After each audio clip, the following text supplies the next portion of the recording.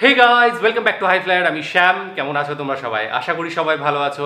আজ আমরা যে ভিডিওটা দেখব, সেটা ডকুমেন্টারি ফিল্ম প্যানোরামা ডকুমেন্টারি থেকে প্রচুর ভিডিও করেছি এবং খুব ভালো লাগে। মানে ডকুমেন্টারিগুলো এত সুন্দরভাবে ফুটিয়ে ওঠে এই চ্যানেলটাই আর পুরনো, অনেক পুনো, পুরনো প্যানোরামা ডকুমেন্টারি আমি মনে হয় যত সম্ভব টিভিতেও দেখেছি, সেখানেও প্যানোরামা ডকুমেন্টারি ছিল কিনা জানি না তবে এইভাবে উপস্থাপনা ছিল, এইভাবেই কিছু প্রোগ্রাম আমি শো দেখেছি যত সম্ভব সেই প্যানোরামা ডকুমেন্টারি এখানে এসেছে এবং ইউটিউবে দেখছি।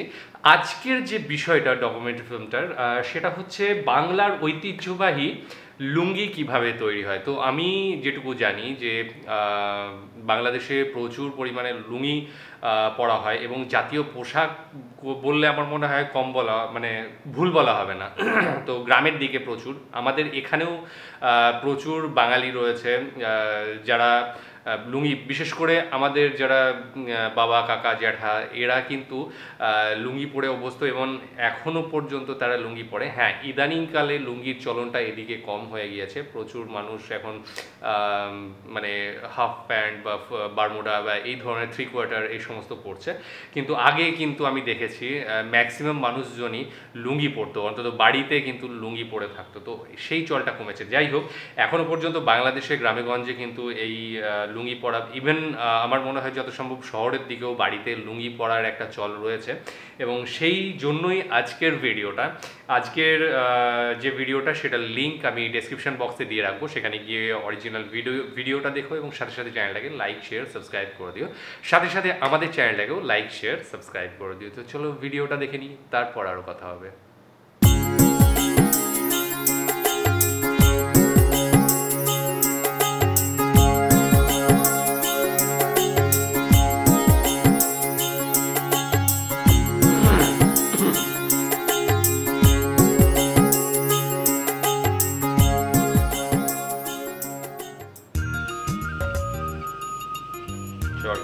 সিরাজগঞ্জের গঞ্জগ্রামে তাঁতিবাড়ি মানেই ঐতিহ্যবাহী চরকা ঘুরিয়ে নলিতে সুতা পেঁচানোর চিরচেনা দৃশ্য।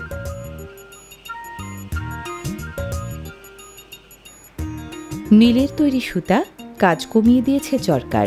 হাতের টানে ঘুরুক কিংবা যন্ত্রের জোরে চরকার আগের মতো সুতা বানায় না এখন। সুতা পেঁচানোর কাজ করে শুধু। তাঁতিরা এখন কাপড় বোনার সুতা কিনে আনেন বাজার থেকে। আচ্ছা। বাজার থেকে কিনে আনা সুতা ব্লিচিং পাউডার মেশানো পানিতে ধোয়াই প্রথম কাজ। সাদা হয়ে যায় আরও ব্লিচিং পাউডার দিলে। কামারদের কাঁচামাল যেমন লোহা কুমারদের মাটি তাঁতিদের তেমনি মূল রসদ সুতা।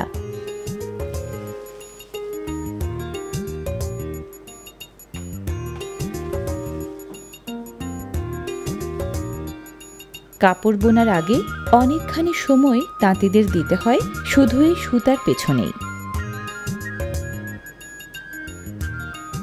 তাঁতি বাড়িতে কাজ হয় ধাপে ধাপে সুতার কাজটা সবার আগে।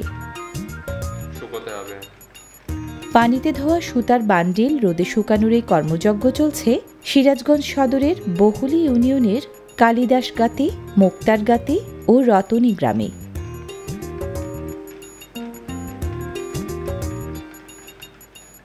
তাঁত প্রধানী জনপদে সুতা দিয়ে লুঙ্গি বোনা হয় বেশি। রোদে শুকানো সুতা এবার রং করার পালা।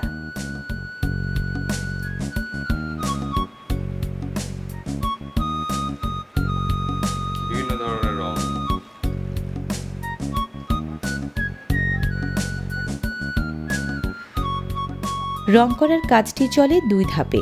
রং পাকা করার জন্য আগে আস্তর ধরাতে হয় সুতায়। এজন্য আস্তর জাতীয় প্রাথমিক রঙে রাঙানো হয় প্রথমে, পরে রাঙানো হয় পাকা রঙে।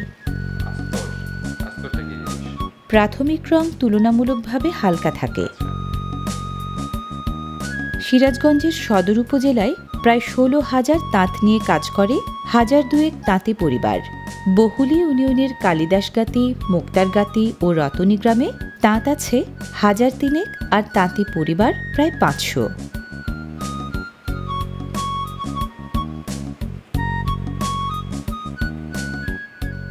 এক বান্ডিল সুতা পাকা রঙে রাঙাতে রঞ্জক পদার্থ লাগে মোট চোদ্দ তোলা।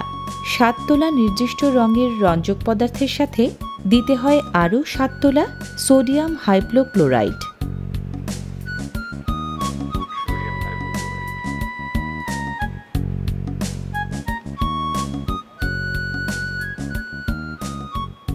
গরম পানিতে রং জাল দিয়ে তাতে ডোবানো হয় সুতার বান্ডিল। সোডিয়াম হাইপোক্লোরাইড দিলে মনে হয় রংটা শক্ত থাকে।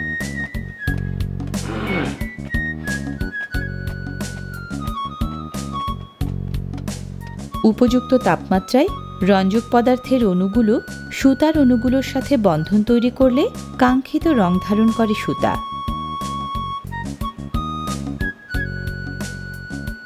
রং কতটা পাকা হবে তা নির্ভর করে রঞ্জক পদার্থের মান তাপমাত্রা এবং সময় নিয়ন্ত্রণের ওপর।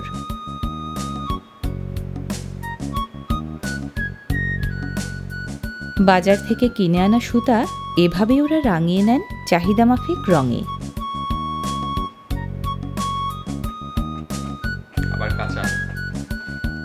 রঙিন সুতার বান্ডিল চৌবাচ্চার আলাদা আলাদা পানিতে ধুয়ে নিলে বেরিয়ে যায় সুতার গায়ে লেগে থাকা বাড়তি রাসায়নিক পদার্থ।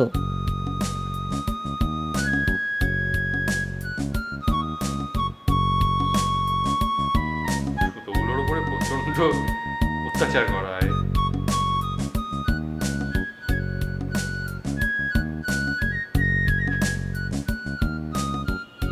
চালের গুঁড়া ময়দার গুঁড়া ও অ্যারারুটের লেই বানিয়ে এবার মার দেয়ার পালা।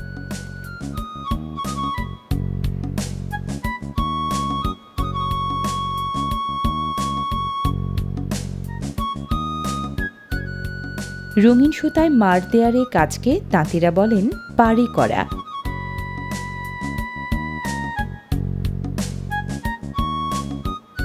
মার দিয়ে এভাবে পাড়ি করার ফলে লুঙ্গির সুতার দৃঢ়তা এবং উজ্জ্বলতা বাড়ে। মার দেওয়া ব্যাপারটা আছে, বাড়িতেও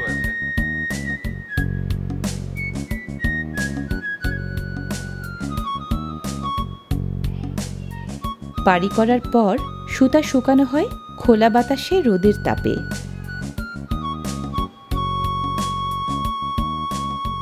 লুঙ্গি বোনার জন্য এখানকার তাঁতিরা সুতা সাধারণত কেনেন বান্ডিল ও বেল হিসেবে। দশ পাউন্ডে এক বান্ডিল, চারশো পাউন্ডে এক বেল।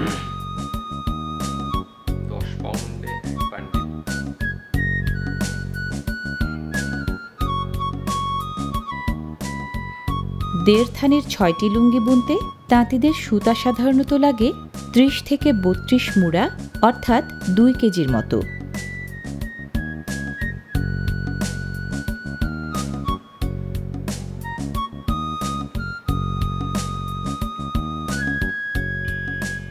খোলা জায়গার রোদ হাওয়া লাগে বলে সুতা শুকানো হয়, পথ, ঘাট, উঠান সবখানে। লাল নীল সবুজ সাদা আর কালো রঙের সুতাই বেশি লাগে লুঙ্গি বুনতে।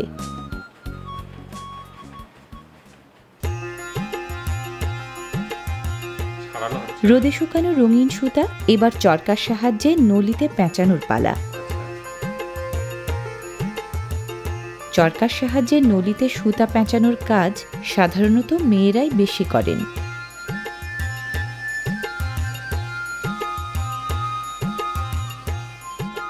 সুতা জড়ানো নলি বা ববিনের ঠাঁই এবার ববিন হোল্ডারে। লুঙ্গি বুনতে সাধারণত নীল রঙের সুতাটাই বেশি ব্যবহার করেন তাঁতিরা।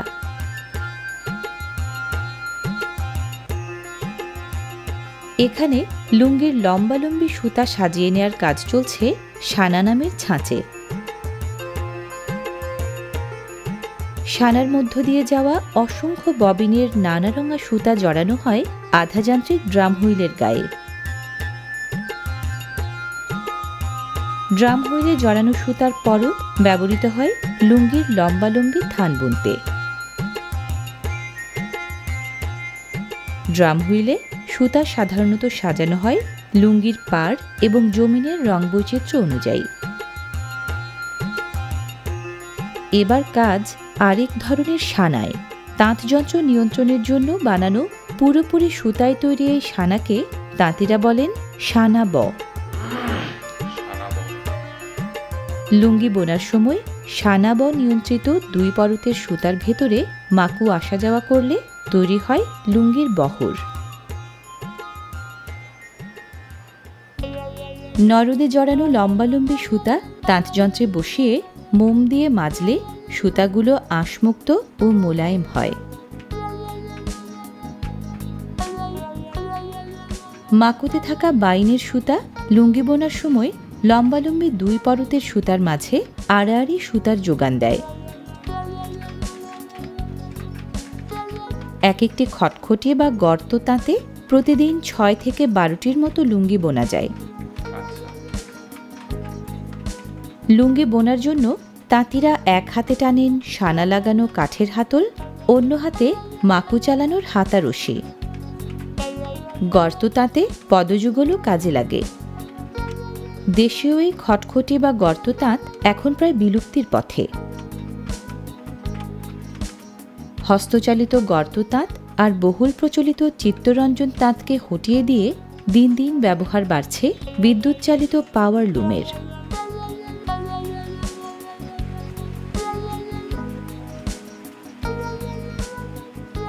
উৎপাদনশীলতা বাড়ানোর জন্য বর্তমানে নব্বই শতাংশ লুঙ্গি তৈরি হয় বিদ্যুৎ চালিত পাওয়ার লুমেই।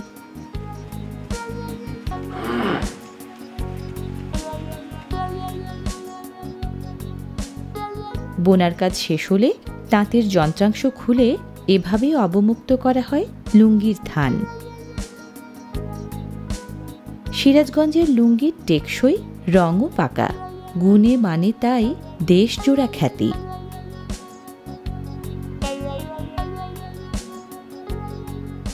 লুঙ্গি বহরে সাধারণত তিন হাত আর দৈর্ঘ্যে পাঁচ থেকে সাড়ে পাঁচ হাত হয়।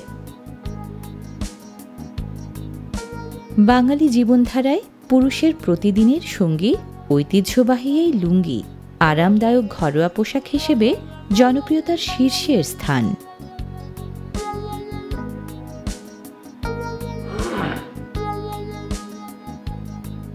ঐতিহ্যে, সৌকর্যে গুণে আর মানে যেন আবহমান বাঙালিয়ানারই আরেক নাম সিরাজগঞ্জের লুঙ্গি।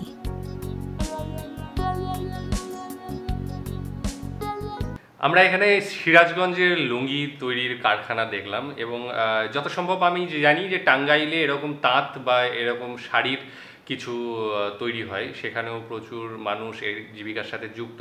তবে সিরাজগঞ্জে যেটা দেখলাম যে, এখানকার গ্রামের প্রায় পাঁচশো পরিবার কিন্তু এর সাথে যুক্ত এবং একটা তাদের জীবিকা নির্বাহ করে এই এই মানে শুধু লুঙ্গি শিল্প এবং যে প্রসেস সেটা কিন্তু আজকে দেখলাম এবং আমি নিজের চোখে একটা জায়গায় মানে বাংলাদেশে গিয়েই দেখেছিলাম এই প্রসেসটাই কিন্তু সেখানে যত সম্ভব যন্ত্র নির্ভর ছিল সমস্তটাই। হ্যান্ডলুমের ব্যাপারটা ছিল না, ওটা হচ্ছে সাপুরা সিল্ক সাপুরা সিল্ক আমি গিয়েছিলাম এবং সেখানে কিন্তু পুরো প্রসেসটা আমি দেখেছি কীভাবে শাড়ি তৈরি হচ্ছে, কীভাবে সুতো কাটা হয়, সুতো তৈরি হচ্ছে এবং সেখানকার পোকাগুলোকে, যেটা সিল্কের পোকা যেটা সেই পোকা দেখলাম কীভাবে সেখান থেকে সুতো তৈরি হচ্ছে, রং করা হচ্ছে, মোম লাগানো হচ্ছে, অনেক কিছু প্রসেস রয়েছে। সবটাই কিন্তু আমি দেখে এসেছি এবং ক্যামেরাতেও নিয়েছি। তবে সময়ের অভাবে আমি সেগুলো এডিট করতে পারছি না। যদিও খুব ভালো হয়নি, তবুও একটা রয়েছে, সেগুলো অবশ্যই নিয়ে আসব। এবং এই যে আজকের জিনিসটা দেখলাম যে কীভাবে রং করা হচ্ছে লুঙ্গির যে কাপড়টা সেটাকে এবং পাকা রং করে সেটাকে প্রচুর প্রসেস রয়েছে এবং এটা কিন্তু খাটনির কাজ। সবাই মিলে করছে এবং একটা খাটনির কাজ, এই যে রোদে শোকানো, বারবার একটা সুতোকে কত রকম করে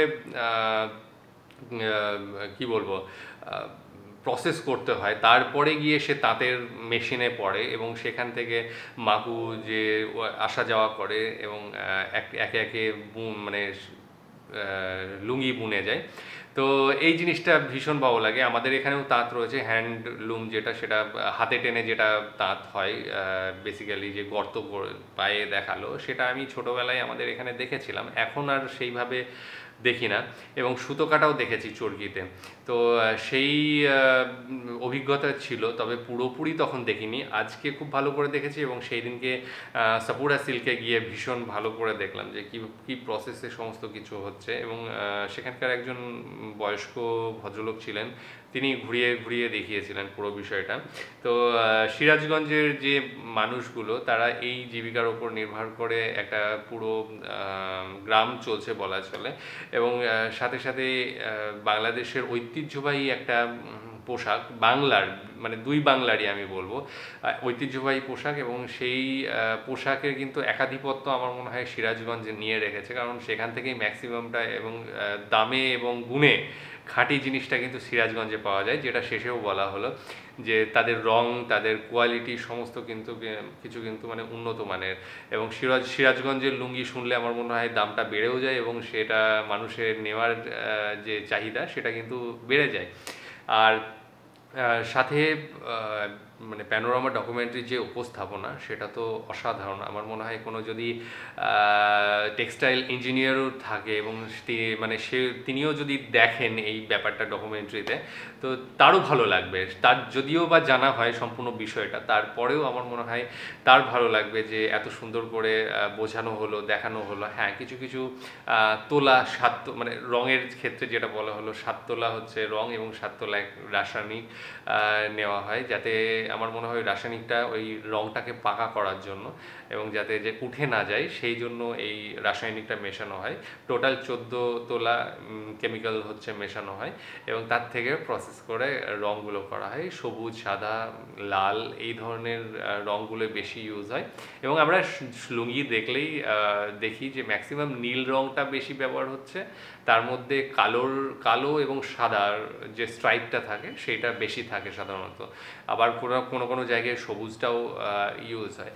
তো যাই হোক, ভীষণ ভালো লাগল ভিডিওটা এবং সত্যি এই সমস্ত জিনিসগুলো দেখতে ভালো লাগে যেগুলো আস্তে আস্তে হারিয়ে যাচ্ছে এবং হারিয়ে না গেলেও কিছু কিছু জিনিস আছে যেগুলো সাধারণ মানুষের পক্ষে দেখা সম্ভব মানে সাধারণ মানুষ কি? মানে যারা অন্তত সেই কারখানার কাছাকাছি থাকে তাদের বাদ দিয়ে বলছি। দূরবর্তী যারা শহর কেন্দ্রিক বা অন্য জায়গাকার মানুষ তাদের পক্ষে দেখা সম্ভব হয় না। তো এই জিনিসগুলো দেখতে সত্যি ভালো লাগে এবং তারাও দেখতে পছন্দ করে। আর বিশেষ কিছু বলার নেই কেমন লেগেছে অবশ্যই জানিও। ডেসক্রিপশন বক্সে লিঙ্ক দিয়ে রাখব, সেখানে গিয়ে অরিজিনাল ভিডিওটা দেখো, সাথে সাথে চ্যানেল লাগে লাইক শেয়ার সাবস্ক্রাইব করে দেবো আজকের মতো এখানেই শেষ করছি, আগামী দিন আবার আসব অন্য কোনো ভিডিও নিয়ে, ততক্ষণের জন্য স্টেডিয়াম